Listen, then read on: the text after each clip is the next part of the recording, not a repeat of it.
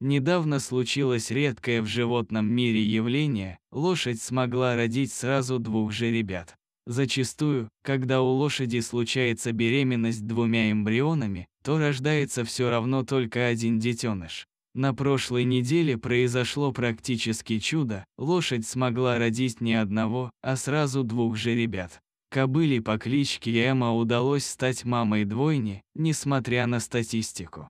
Согласно научным фактам, лошади могут забеременеть двумя же ребятами, но вряд ли смогут родить их полноценными. Вероятность того, что детеныши родятся здоровыми, составляет 1 к 10 тысячам. Во время вынашивания двух же ребят они не прекращают соперничать внутри, именно поэтому шансы того, что они родятся здоровыми, так малы. Чаще всего один из эмбрионов погибает или один поглощает другого. Бывают случаи, когда ветеринары делают животному аборт, чтобы не подвергать его опасности. Конечно же, Эмма не подозревала, что внутри нее живут сразу двое малышей, в этой ситуации ей помог материнский инстинкт. Же ребятам очень повезло, что они оба родились живыми. Роды у Эммы проходили трудно, но, к счастью, оба же ребенка родились абсолютно здоровыми.